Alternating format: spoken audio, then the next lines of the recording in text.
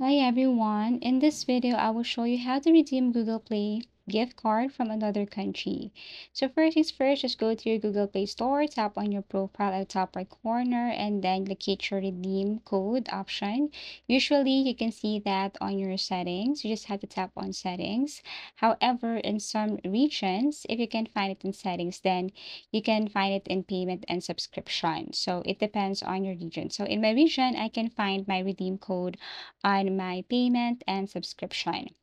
Now here, what you're going to do is you just have to simply look for the redeem code option and then enter the redeem code here. But basically, if your redeem Google Play gift card is from another country, then one of the best ways to do here is to simply connect your internet to a VPN.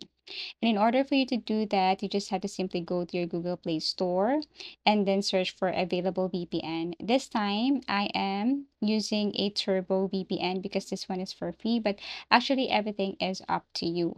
This one is Turbo VPN. I just have to simply tap on the connect option right here and it will connect me to a specific country like Singapore or other countries right here. You can change that one later. However, this VPN has limit sources, so you need to just connect to any of the available country and region right here. If you want to connect to another country or specific country, you need to upgrade your plan or you need to update the version of your Turbo VPN in order for you to do that. But however, for this tutorial, once you're connected to that specific region or country, you can go back and try to claim that code from another country.